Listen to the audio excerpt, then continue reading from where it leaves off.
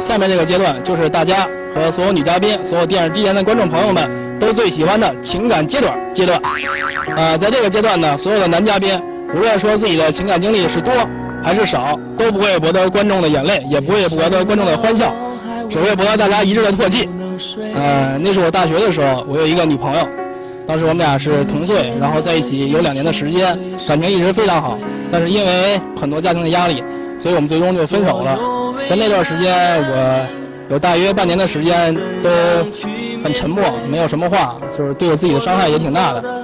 嗯，但是现在我觉得已经不会了，因为我觉得我已经够成熟，已经准备好了。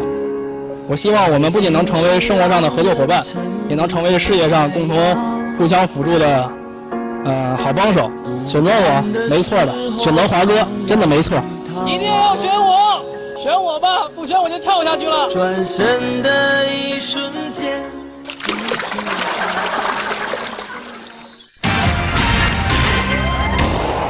各位有什么问题？王丽婷，您认为您的性格缺点是什么？而且就是我呢，脾气比较不好，比较任性，然后您能容忍吗？呃，首先吧，我可以包容一个女孩的小可爱、小撒娇和这个小顽皮，但是我希望她不要上房揭瓦。就比如，然后咱俩吵架什么的，发脾气，然后，如果假如说有一天我们吵架的话，嗯，我肯定会让着你的。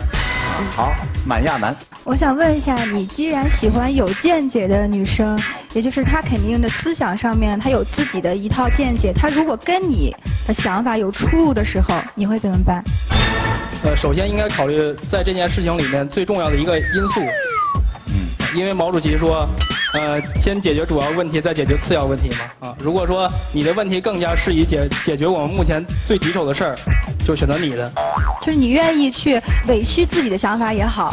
去和他一起去完成他的这个想法，他的这个行动，对吗？我可以这么理解吗？嗯，是的，是的。你愿意？我愿意。谢谢。但是他的话里有话，你觉得委屈吗？我一点不觉得委屈，因为我觉得，如果如果一个女孩愿意将她自己的一生，愿意将她的青春和她余下的生活全部托付给一个男人的话，我觉得这已经给了这个男人无上的光荣。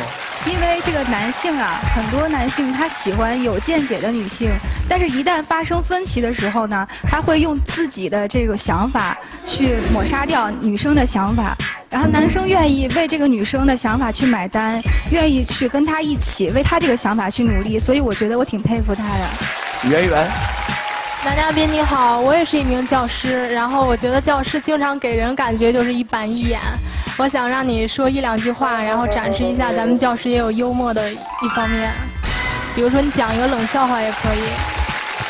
这个问题吧，其实我预先想到了，但是是这样，呃，我觉得所有的幽默和所有的笑话应该都存在于生活中每一每一分的点点滴滴的过程之中，而不是存在于我刻意的去给你讲一个笑话。我觉得我如果刻意的去给你讲一个笑话，你可能也不会笑的。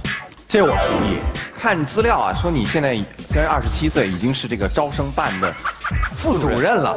按理说这个事业是很成功了，所以我就有点质疑，就这个二十七岁就当主任，可能也是好事儿，但会不会显得你这个人就是把你的那种青春的朝气都已经消灭掉了？我现在感觉你青春的脚步已经停止了。我是觉得我在这方面今天表现出来的确实少了一点，可能是。我真的在台下的时候，可能刻意的掩盖了自己这些东西，真的。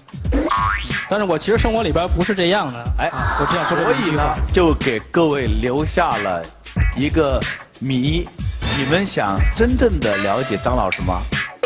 那就得走进他的生活。